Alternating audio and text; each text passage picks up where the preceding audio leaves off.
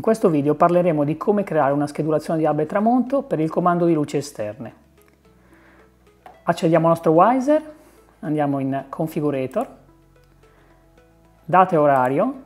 Come operazione preliminare dobbiamo inserire la latitudine e la longitudine dell'installazione del Wiser. Le coordinate le possiamo trovare sia su Google Maps che su questo sito www.coordinate-gps.it Abbiamo per esempio l'indirizzo Milano e abbiamo questi valori. Andiamo a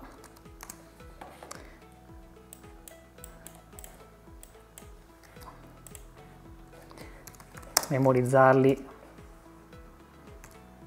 per inserirli poi nel Wiser.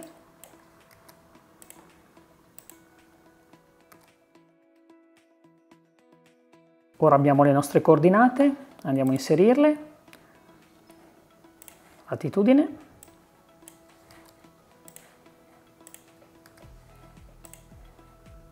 longitudine,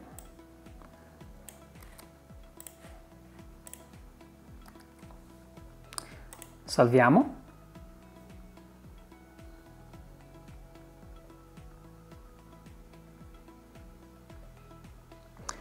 Ok, una volta inserite le coordinate andiamo a creare una schedulazione. Aggiungiamo la schedulazione. Oggetto è il comando che possiamo dare. Adesso possiamo fare un on off. Attivo. Luci esterne per esempio. Validità 1 gennaio 31 dicembre, va bene. Salviamo. Ora associamo a questo comando di luce esterne degli eventi, per esempio accensione,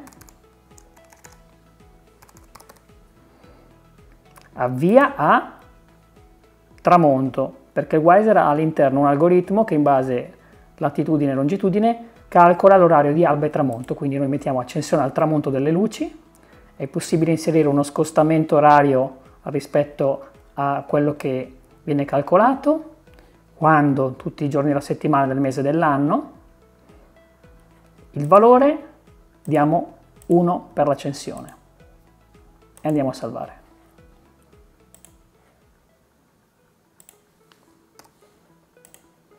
Facciamo la stessa cosa per lo spegnimento.